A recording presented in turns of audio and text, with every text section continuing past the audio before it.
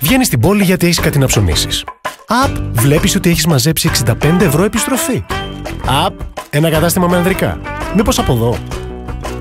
Απ, και εδώ έχει 10% επιστροφή. Απ, έχει και ένα ιταλικό κοντά.